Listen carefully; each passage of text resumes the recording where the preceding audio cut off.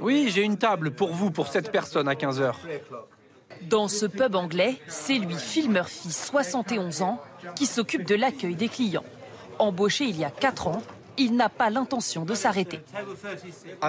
Je travaille 6 jours par semaine, des journées de 5 heures. J'ai mon samedi libre, ça fait 30 heures par semaine. Nous, les Britanniques, nous travaillons dur, vous savez.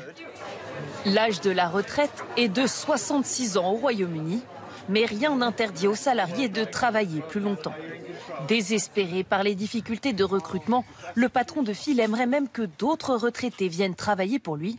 Il a mis cette annonce pour eux devant son pub.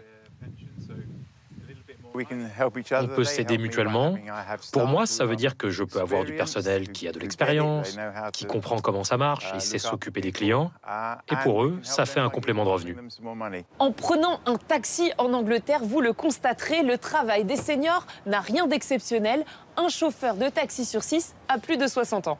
Hello C'est aussi une nécessité financière, car au Royaume-Uni, les retraites versées par l'État sont bien plus faibles qu'en France.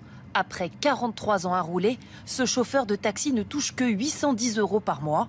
Alors malgré ses 67 ans, pas question de lâcher le volant.